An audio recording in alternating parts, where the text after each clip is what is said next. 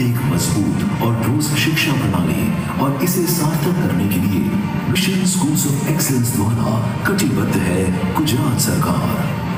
हमारे लिए यह अत्यंत हर्ष और गौरव की बात है कि आज माननीय मुख्यमंत्री श्री भूपेंद्र भाई पटेल की उपस्थिति में हमारे माननीय प्रधानमंत्री श्री नरेंद्र मोदी द्वारा मिशन स्कूल्स ऑफ़ एक्सीलेंस का शुभारंभ किया जा रहा है।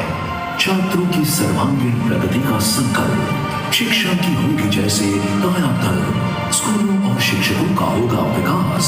एक उज्जवल भविष्य का मिलेगा विश्वास। श्रेष्ठ से सर्वश्रेष्ठ।